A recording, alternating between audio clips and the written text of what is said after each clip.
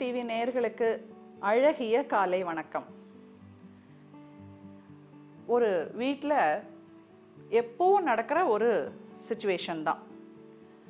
ஒரு அப்பா வந்து பேப்பர் படிச்சிட்ருக்கார் அவருடைய மனைவி வராங்க. எவ்வளோ நேரம் தான் அந்த பேப்பரை படிச்சுக்கிட்டே இருப்பீங்க? ஒரு வரி விடாமல் கொஞ்சம் எழுந்து இங்கே வரீங்களா? இதோ வந்துட்டம்மா. பேப்பரை மடிச்சிட்டு உடனே அவர் போகிறார் என்னம்மா? என்ன என்ன? உங்கள் அருமை பொண்ணு கொஞ்சம் சாப்பிட வைங்க. ம் சரி என்னடா நடக்குது அப்படின்னு போய் பார்த்தா டைனிங் டேபிளில் ஒரு எட்டு வயசு குழந்த உட்காந்துருக்கு அந்த குழந்தைக்கு முன்னாடி ஒரு கிண்ணம் நிறைய தயிர் சாதம் இருக்குது இந்த தயிர் சாதம் அந்த குழந்தைக்கு பிடிக்கவே பிடிக்காது. ஆனால் இவருடைய மனைவியும் இவருடைய அம்மாவும் அதாவது குழந்தையோட பாட்டியும் தயிர் சாதம் சாப்பிட்டே ஆகணும். தயிர் வந்து உடல் சூட்டை தணிக்கும். வெப்பம் வந்து கூல் பண்ணும். அதனால் அது கண்டிப்பாக எடுத்துக்கணும். அட்லீஸ்ட் ரெண்டு நாளைக்கு ஒரு தடவையாவது சாப்பிடணும் அப்படின்னு ரொம்ப ஸ்ட்ராங்கான நம்பிக்கை உடையவங்க அந்த குழந்தைய தயிர் சாதம் சாப்பிடு சாப்பிடு சாப்பிடுன்னு சொல்கிறவங்க அந்த குழந்தைக்கு தயிர் சாதம் சுத்தமாக பிடிக்காது. அவள் அடம் பண்ணுற குழந்தை இல்லை. ஆனால் என்னமோ அவளுக்கு அது பிடிக்காது. அதுக்கெல்லாம் ஒரு காரணம் இருக்க முடியுமா? நம்மள நிறைய பேருக்கு தயிர் சாதம் ரொம்ப பிடிக்கும். ஆனால் மற்ற விஷயங்கள் பொங்கல் பிடிக்காது. அது மாதிரி விதவிதமாக ஒரு ஒரு ஐட்டம் பிடிக்காதுங்கிற லிஸ்ட்டில் இருக்கும்ல அது மாதிரி. அந்த குழந்தை சிந்துஜாக்கு தயிர் சாதம் பிடிக்காது. அப்பா இந்த சுச்சுவேஷனை பார்க்குறாரு ஒரு பக்கம் அம்மா யாரோட அம்மா? தன்னோட அம்மா தன்னை பெத்த அம்மா. இன்னொரு பக்கம் குழந்தைய பெத்த அம்மா மனைவி. ரெண்டு பேரும் அப்படி கையை கட்டிட்டு இவரையே பார்க்குறாங்க சாப்பிட வைங்க. ம் கண்ணுலேயே வருது ஆர்டர். சாப்பிட வைக்கிறேன். போகிறார் குழந்தைகிட்ட போய் ஏண்டாம்மா என்னடா அது? அம்மாவும் சொல்கிறாங்க பாட்டியும் சொல்கிறாங்க நல்லதுக்குன்னு தானடா சொல்கிறாங்க நல்லது இல்லைன்னா இதை உனக்கு யாராவது கொடுப்பாங்களா? சமத்து இல்லையா நீ? சாப்பிட்டுடுமா. கொஞ்சம் ஒரு நாலஞ்சு வாய் மட்டும் சாப்பிட போகிறோம் அப்பாக்காகடா. இல்லைன்னா அதோ பாரு அம்மாவும் பாட்டியும் ரெடியாக நிற்கிறாங்க அப்பா பாவம் அல்ல அப்பாக்காக சாப்பிட்டுடுடா கண்ணு அப்படிங்கிறார். குழந்தையோட கண்ணில் அப்படியே அழுக முட்டிட்டு வருது. அதெல்லாம் முழுங்கிட்டு தெளிவாக அப்படி சரிப்பா நான் சாப்பிட்றேன். நாலஞ்சு வாய் இல்லைப்பா நான் அந்த ஃபுல் கிண்ணத்தையும் சாப்பிட்டுடுறேன். ஆனால் நான் கேட்குறத நீங்கள் ரெண்டு பேரும் ஓகே சொல்லணும். ம். இப்படி ஒரு கண்டிஷன் போடுறா? சரி கண்டிஷன் ரொம்ப வித்தியாசமாக இருக்கே. இவர் மனைவியை பார்க்குறாரு அம்மாவை பார்க்குறாரு ரெண்டு பேரும் இப்படியே பார்க்குறாங்க. ம் சரிம்மா சரிம்மா. நீ சாப்பிட்ற ராஜாத்தி. நீ என்ன சொல்கிறியோ நான் வந்து அதை செய்கிறேன் ஒன்றும் பிரச்சனை இல்லை நான் செய்கிறேன் நீ சொன்னால் மட்டும் பத்தாதுப்பா. அம்மாவையும் எனக்கு ப்ராமிஸ் பண்ண சொல்லுங்க. அம்மாவும் வராங்க. ம் சரி. நீ என்ன கேட்குறியோ அது நடக்கும். ரைட் உடனே அப்பா சிந்துமா ரொம்ப பெரிய gift எல்லாம் கண்ணா.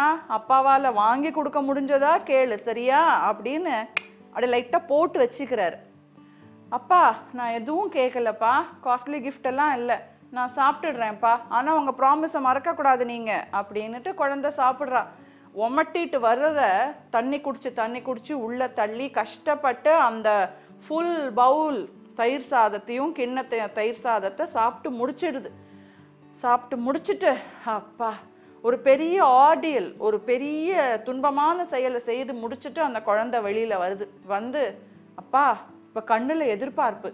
அப்பா நீங்கள் சத்தியம் பண்ண மாதிரி நடந்துக்கணும் சரியா? சரிடா உனக்கு என்ன வேணும்னு சொல்லு. என் செல்லம்மாக்கு என்ன வேணும்னு சொல்லு. குழந்தை எடுத்து மடியில் உட்காந்து வச்சுட்டு கேட்குறாரு அப்பா. ஒன்றும் இல்லைப்பா பெரிய விஷயம்லாம் ஒன்றும் இல்லை. வர ஞாயிற்றுக்கிழமை என்னோட தலையை நீங்கள் மொட்டை அடிக்கணும். ஆ? மொட்டையா? சிந்து என்ன சொல்ற நீ? அப்படின்னு மடியில் உட்காந்துருக்கிற குழந்தை தலையை திருப்பி அப்பா பார்க்குறார். குழந்தையோட கண்ணில் ஒரு உறுதி. அவங்க பாட்டியும் அம்மாவும் கத்துறாங்க. நம்ம குடும்பத்திலேயே இல்லாத ஒரு விஷயம் இது. நீ அதிகமாக டிவி பார்த்து வீணா போயிட்ட. யார் உனக்கு இதை சொல்லி கொடுத்தது? பொம்பளை பிள்ளை தலையை மொட்டை அடிக்கிறதா? இதெல்லாம் நான் ஒத்துக்கவே முடியாதுன்னு ரெண்டு பேரும் பெருசாக போர்க்கொடி தூக்குறாங்க. ஒத்துக்க முடியாது அப்படிங்கிறாங்க. ஆனால் குழந்தை உறுதியாக நிற்கிறா நீங்கள் எல்லாரும் சொன்னீங்க நான் சாப்பிட்டேன் சத்தியம் பண்ணீங்க நான் என்ன கேட்குறேனோ அதை செய்கிறேன் அப்படின்னு சொல்லி அதை நம்பி தானே அந்த கஷ்டமான தயிர் சாதத்தை கஷ்டமான விஷயத்த நான் செஞ்சேன். இப்போ நீங்கள் உங்கள் ப்ராமிஸை கீப் அப் பண்ணும் அதுதான் பெரியவங்களுக்கு அழகு. அப்பா பார்க்குறார் இதுக்கு மேலே குழந்தைய நம்ம தவிக்க விடக்கூடாது. சரிம்மா மொட்டை தானம்மா? அடிச்சுக்கலாமா? ரைட் அப்படின்னு அப்பா குழந்தைய கூட்டிகிட்டு போய் மொட்டை அடிச்சிடுறார். ஞாயிற்றுக்கிழமை திங்கக்கிழமை குழந்தைய ஸ்கூலில் ட்ராப் பண்ணுறதுக்கு போகிறாரு குழந்தையும் இறங்கி நடந்து போகிறாள் இவர் காரை விட்டு இறங்கி நின்று பாய்மா அப்படின்னு சொல்லும்போதே சிந்துஜா அப்படின்னு இன்னொரு குரல் கேட்குது வேற ஒரு கார்லேருந்து வேற ஒரு பையன் மொட்டை தலையோடு இறங்கி போகிறான் அந்த பொண்ணு சிந்துஜாவும் திரும்பி இவனை பார்த்ததும் ஹாய்டா அப்படின்னு நின்று ரெண்டு பேரும் சேர்ந்து உள்ளே போகிறாங்க இப்போ அப்பா நினைக்கிறார் இந்த பையனும் மொட்டை அடிச்சிருக்கான் நம்ம பொண்ணு அடம் பிடிச்சி மொட்டை அடிச்சிட்டு இருக்கா. ஒரு வேளை இதுதான் இப்போதைய ஃபேஷன் போல இருக்கு யாருக்கு தெரியும்? அப்படின்னு திரும்புறார் காரை நோக்கி அப்போ ஒரு குரல். சார் அந்த பொண்ணு சிந்துஜா உங்கள் பொண்ணா சார் ஆமாம் என் பொண்ணு தான் யாருன்னு பார்த்தா அந்த பையனோட அம்மா. உங்கள் பொண்ணுக்கு ரொம்ப பெரிய மனசு சார் ரொம்ப பெரிய மனசு. ஏன் மேடம் அப்படி சொல்கிறீங்க என் பையன் ஒரு மாதமாக ஸ்கூலுக்கு வரல. அவனுக்கு லுக்கீமியா அதனால் கீமோதெரப்பி பண்ணதில் அவன் முடியெல்லாம் கொட்டி போய் அவன் ஸ்கூலுக்கு நான் திரும்பி போகமாட்டேன்னு அடம் பிடிச்சிட்டு இருந்தான்.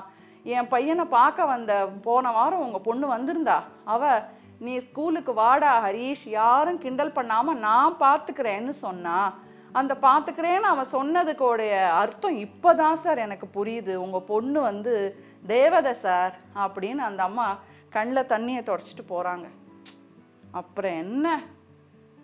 இந்த அப்பா அந்த இடத்துலையே மண்டிட்டு வாவ் தெய்வமே இப்படி ஒரு குழந்தைய கொடுத்ததுக்கு ரொம்ப நன்றி அப்படின்னு சந்தோஷப்படுறார்.